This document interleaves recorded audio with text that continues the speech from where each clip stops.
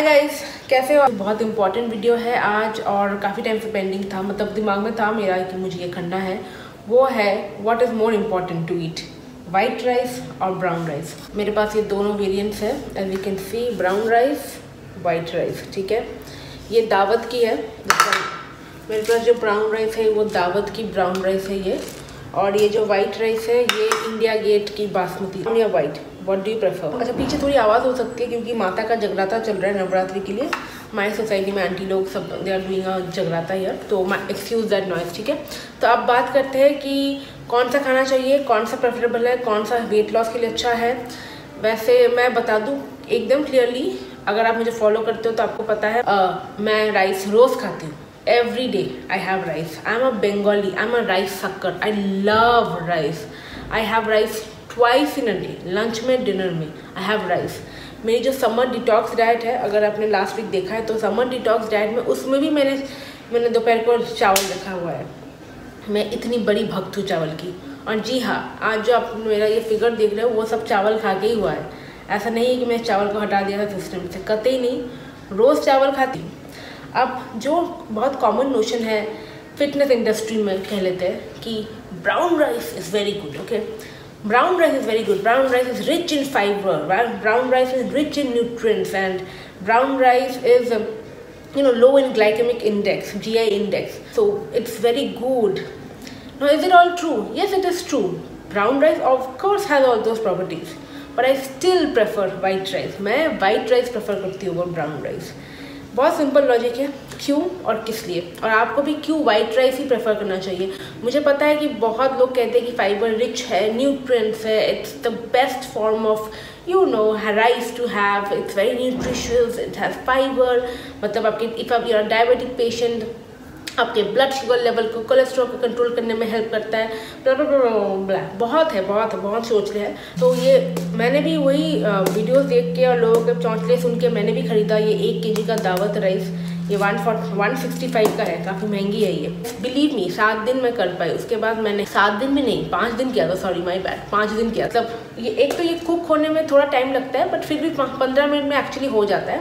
मैं राइस कभी भी वाइट हो ब्राउन हो प्रेशर कुकर में नहीं बनाती हूँ। आई बॉयल इट नॉर्मल जैसे आप बॉयल करते हो ना थोड़ा सा एक थोड़ा सा राइस डाल के देन उसमें उसके डबल वाटर डाल के फिर बॉयल करो till it you know boils down and then remove the starch drain the starch out and then have it वैसे ही मैं fried rice and brown rice करती हूँ। तो ये मैंने ब्राउन राइस पाँच दिन का मेरा एक्सपेरिमेंट था, उसके बाद मैं चट गई। मुझे लगा कि भाई मुझसे तो ना होगा, क्योंकि एक तो taste it's an acquired taste मुझे टेस्ट पसंद नहीं आई। दूसरी जो मुझे बहुत प्रॉब्लम लगी ब्राउन राइस की, वो थी it takes a longer time to digest digestion में प्रॉब्लम होती है brown rice which is also a medical fact मतलब मैंने जो भी रिसर्च किया, पढ़ा है, मैंने जो भी देखा है it actually takes much longer time to digest than white rice so that is a bad thing अच्छा दोनों के जीआई लेवल को अगर हम ग्लाइकेमिक इंडेक्स को कंपेयर करें तो brown rice is that 66 and white rice is that 55 ज़्यादा डिफरेंट नहीं है। फाइबर में भी ऑलमोस्ट सेम है, बाकी न्यूट्रिएंट्स में भी ऑलमोस्ट नियर अबाउट सेम है. सो आई डेंट सी कि द पॉइंट जो कोई ड्रेस्टिक मुझे डिफरेंट नहीं लगा कि मुझे क्यों वाइट राइस हाँ द कैच इज़ कि आप कितना क्वांटिटी में ले रहे हो.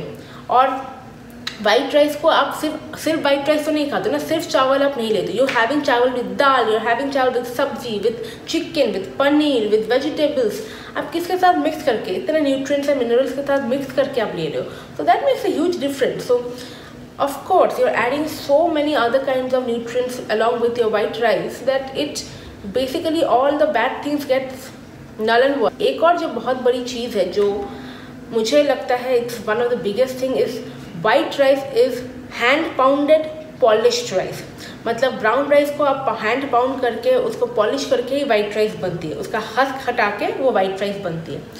So if a rice is not polish मतलब brown rice this one is too rich in fiber, more than required. So, it stops the absorption of other kinds of minerals in our body. ठीक है? So and the best thing is that it can still have a lot of toxins and husk present in the brown rice because it's not hand powder not polish this basic agriculture, basic हमें जो school में पढ़ाया हुआ है। तो India में culture ही है white rice खाने की। मैं आपको डेफिनेटली रिकमेंड एंड सजेस्ट करूँगी कि आप वाइट राइस को स्टिक करिए। बहुत कम क्वांटिटी में खाइए। मैं अभी आपको दिखाने वाली हूँ कितना क्वांटिटी मैं लेती हूँ बट ये डिपेंड करता है। ये पर्सन टू पर्सन डिपेंड करता है। मैं जितना कम खाती हूँ, शायद आपका उससे पेट ना भरे। But please don't eat to the brim make a habit of eating less rice okay have rice less rice and छोटा प्लेट में खाइए। मैं आपको दिखाती हूँ, मैं कितना एग्जैक्टली लेती हूँ। बट प्लीज़ आप आप सबसे बेस्ट समझोगे कि आपकी बॉडी के लिए क्या बेस्ट है। हम लोग ओवर ईट कर लेते खास करके जो बंगाली, मलयाली, केरलाइट्स जो लोगों को राइस से प्यार है ना राइस हम ओवर ईट करते हैं मोस्टली इसलिए वेट बढ़ती है। That is one of the biggest reason कि कार्ब एंड शुगर इनटेक जो ज़्यादा हो जाती है राइस से। We over eat rice please have rice in control that is very important so let's now see how much rice I have and इस video को ज़रूर एक लाइक कर दीजिए, मेरे चैनल को सब्सक्राइब कर दीजिए, बाजू में जो बेल है, टिंग टिंग टिंग, उसको भी क्लिक कर दीजिए। And see you my next video bye plate लिया है ताकि मैं अपनी क्वांटिटी कंट्रोल कर सकती फिर हम लेते हैं इसमें rice and I'm going to have it with आलू गोभी की सब्ज़ी। You can have it fish chicken prawns दाल, सब्ज़ी जो पसंद है। बट हाँ ये मेरी क्वांटिटी है यूजुअली चावल की। सुबह ये थोड़ा लंच में ये इतना है। डिनर के टाइम टाइम में इससे थोड़ा सा कम कर दूँगी थोड़ा सा जस्ट दिस मच बाकी मैंने अपने बॉडी को ऐसे और माइंड को ऐसे ट्यून किया है। This is amount of chawal I have and I always have a katori of dal and fish होगा तो fish whatever it is so that's it